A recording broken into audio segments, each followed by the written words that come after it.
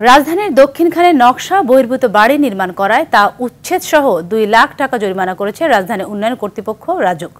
দুপুরে এই অভিযানের সময় বাঁধন সাইফ গার্ডেনে একটি বহুতল ভবনের নকশা বহির্ভূত অংশ ভেঙে ফেলা সহ বিদ্যুৎ সংযোগ বিচ্ছিন্ন করা হয়। ম্যাজিস্ট্রেট মোহাম্মদ কামরুজ্জামান জানান দক্ষিণখান এলাকায় রাজুক নকশা বহির্ভূত বাড়ি নির্মাণ করায় মোবাইল কোর্ট পরিচালনা করা হয়েছে।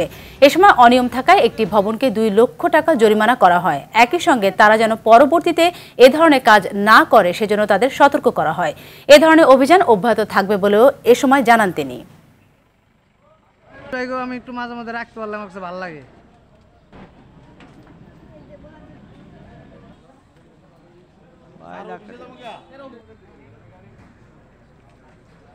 রাজুকের বিভিন্ন স্তরের কর্মকর্তা, কর্মচারী ডিএমপির পুলিশ সদস্যগণ সকলের সহযোগিতায় এবং টিমওয়ার্কের মাধ্যমে এই জনস্বার্থে এই কার্যক্রম চলমান আছে। কোনো রকমের বাধার সম্মুখীন আমরা হইনি এবং স্থানীয় জনসাধারণের স্বতঃস্ফূর্ত সমর্থন এবং সহযোগিতা সবসময় আমরা পেয়ে আসছি, যেটা আজকেও ছিল।